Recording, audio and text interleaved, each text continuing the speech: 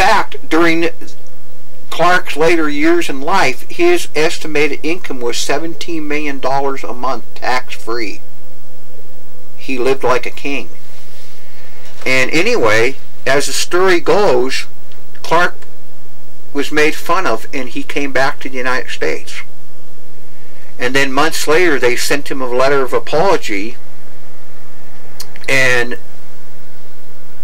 he had requested his men that was working for him to find out what they wanted for these paintings there in Paris.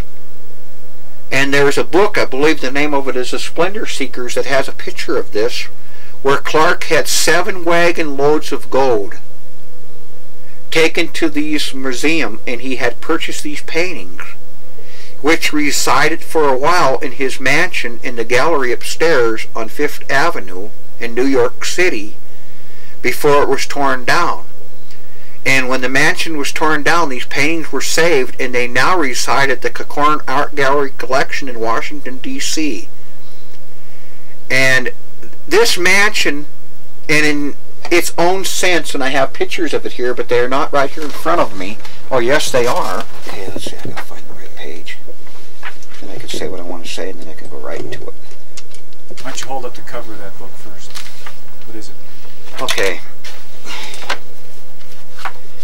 This book here, the title of it is King's Views of New York City, 1903. And the mansion was not built at the time that this book was published for W.A. Clark. However, The book was published for Clark or the mansion? well, the mansion it, it, uh, was not built at the time of this book. However, the mansion was in fact built. And here on page 66 is a picture of the W.A. Clark Mansion residence Which for? Honorable William Andrews Clark. Right there in the upper upper Right here, where my fingers point. This thing. Okay. This mansion Stop. It's incredible. Consisted of over 185 rooms and 34 bathrooms. And in the caption here, it says it was the most costly mansion uh, uh, undertaken or whatever being built at that time. However, you go back in this book to the Vanderbilt mansion, it says that it was the most costly. And part this was another reason why Vanderbilt frowned upon Clark's undertakings Stop. because Clark, they owned that entire block. Then over the years, um, over the years, they diminished. Are, are you taping Yeah, me now? yeah. Okay, then over the years they diminished because other wealthy people had built there. But the Vanderbilts also built extravagantly. In fact, to this day, the Vanderbilt residence in North Carolina, I believe it is, the, the, the Baltimore uh, estate, or Baltimore estate, is the world's largest private-owned mansion. Was it as big as the Clark Mansion? Oh, it was way bigger. It, it had a, a well, the, the Baltimore Mansion there in North Carolina. You can visit it. I think it has a garage for 25 limousines, and it has over 800 rooms. And the Vanderbilts did everything big, but the Vanderbilts were known for railroad. In fact, one of the Vanderbilts, uh, with Jacob Af, Asper or Abster, I can't pronounce his name, that who, who died on the Titanic uh, had a private train a waiting for the Titanic. Right there in New York had the Titanic docked.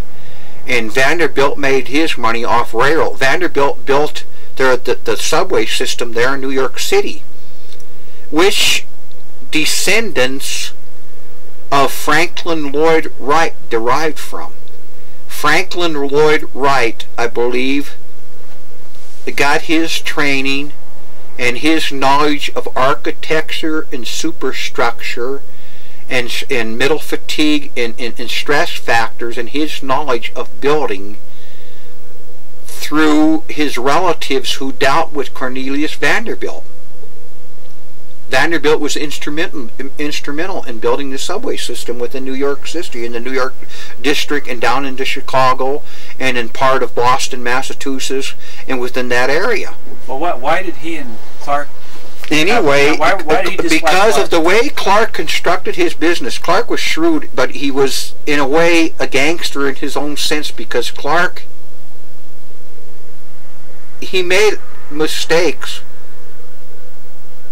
I earlier said that he, you know, he, he, didn't make any mistakes or he was careful, but where he made his mistakes, as he made more and more and more money, he used fictitious, well, some like what Knievel Knievel did.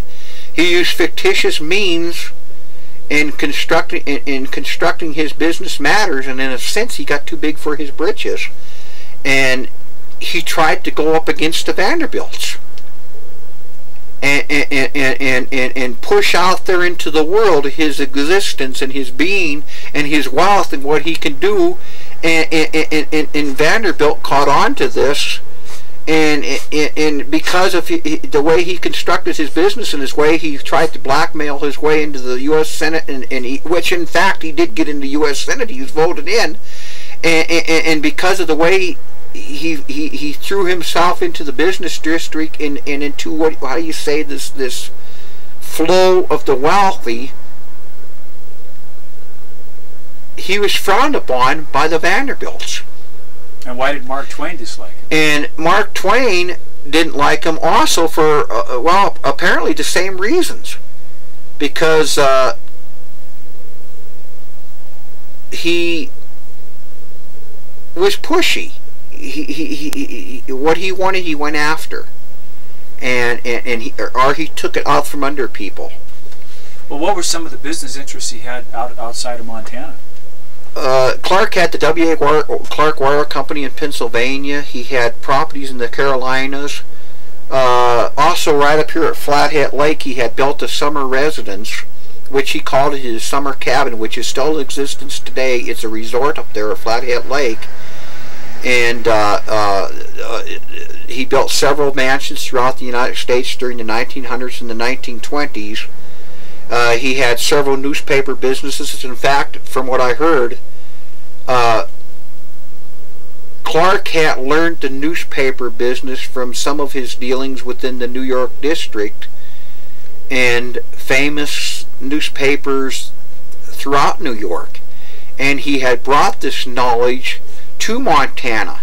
And his son, uh, I think it was J. Ross Clark, or one of the Clarks, had Montana Free Press and and they later merged with the newspaper business, uh, uh, the Montana Standard, and Butte Daily Miner, and then they, merged, and it all became one newspaper.